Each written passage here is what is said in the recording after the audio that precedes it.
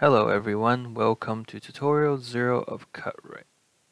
This tutorial will show you how to set up a simulation project in CutRight and also some of the mouse and key controls that will help you interact with the UI. To set up a simulation, first load the machine.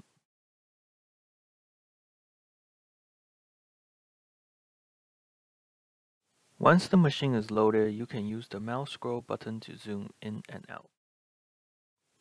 To rotate, click and hold the left mouse button, then drag. To pan, click and hold the middle mouse button. With the machine loaded, it can be hard to see the work area. Hold Ctrl and scroll forward with the mouse scroll button to remove the door and the enclosure of the machine. Scroll backwards to bring the door and enclosure back. Now, let's continue setting up our simulation project. The next item we're going to load is device. When you load object into CutRight, CutRight will ask you the unit of the object. This is a unit which the object is made in. CutRight needs to know this in case the project unit and the object unit do not match. In this particular case, the device's unit is in inches, while CutRight's project unit is in millimeters. By selecting inches when importing the device, CutRight knows to do the proper unit conversion for the object when importing. Once the device is loaded, a prompt can come up telling you that the object is outside the safe work envelope. This means if you run the setup as is, the device can collide with the machine. A red box displays showing the safe work envelope. It is best to move the device within the safe work envelope. Now we will position the device, keeping in mind of the safe work envelope. We can move and rotate the device via input dialog boxes. We will rotate the device about Z first using the C rotation dialog box. We will then use the snap function to further align the device. Simply select the surface on the device then the surface on the machine that you want to snap together.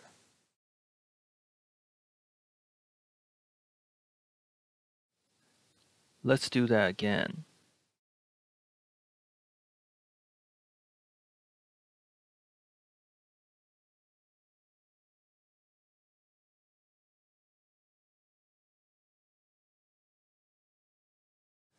Finally, we will shift device in the negative x direction using the delta x dialog box.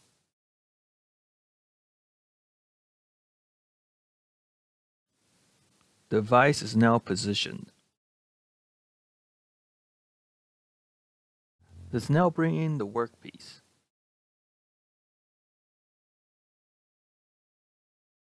Again, select the unit that the workpiece is made in. In this case, the workpiece is made in millimeters, so select millimeter. With the workpiece loaded, we will position it using the snap function just like we did for the device.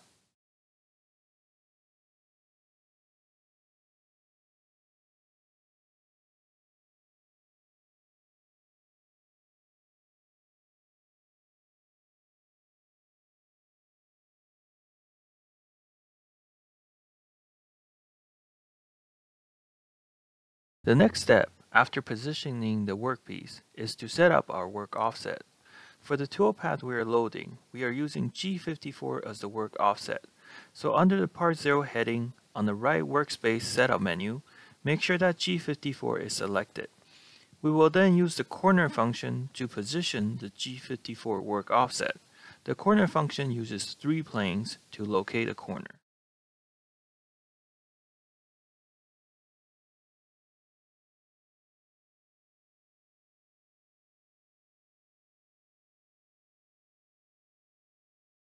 Once the work offset is positioned properly, it is time to load the toolpath.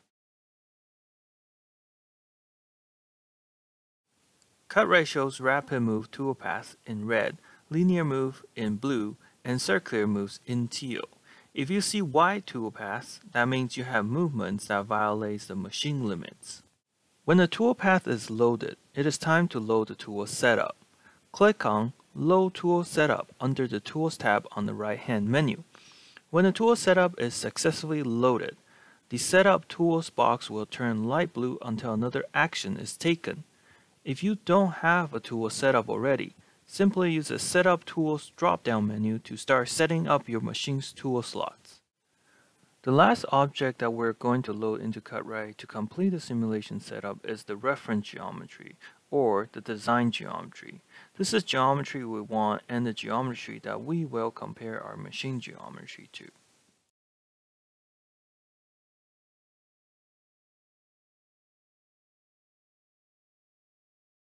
Now the setup is complete. Before we start machining, I'm just going to show you how you can hide and show the objects in the graphics area.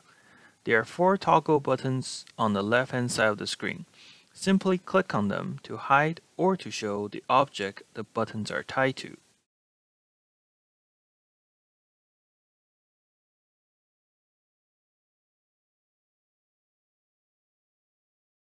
To start machining, hit the play button on the bottom left corner of the screen. You can now see CutRight machining the workpiece. As you watch the machining process, you will notice that CutRight defaults to Workpiece View. For this view, the workpiece is held stationary while everything else moves around it. This isn't what happens in real life, but it makes it easier for the user to see what is happening with the workpiece. If you want to change it to how the machine actually moves in the real world, right-click anywhere in the graphics area, then click on Switch between Workpiece Focus and Machine Focus. This will change the view to Machine Focus. You can now see that the machine is moving as it would in real life. You can make this change anytime, even during machining. You don't have to pause it like we did just now. In fact, CutRight's graphics area is always accessible. You can pan, rotate, and zoom during machining. To decrease the speed of the machining animation, pull the slider bar in the bottom left corner of the screen to the left. To increase the speed, pull it to the right.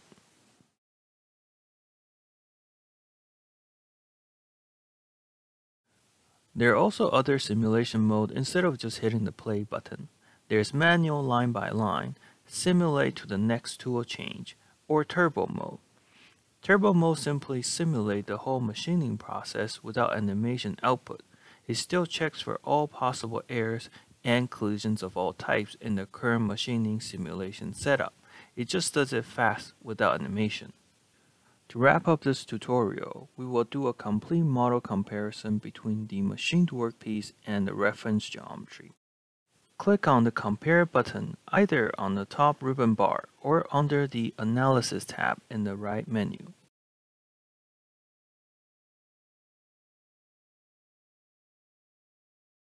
The result is shown as a deviation map on the machine model. The bottom of the screen shows what the colors mean in terms of deviation values. You can use the slider bar under the Analysis tab to adjust the error cutoffs.